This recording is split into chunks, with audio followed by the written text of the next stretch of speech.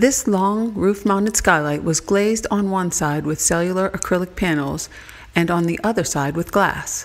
This vent portion is powered by continuous shafting running behind the vents and operating rack and pinion hardware, a very old but reliable operating system. This is another example of an EXTECH system delivering massive ventilation and natural lighting.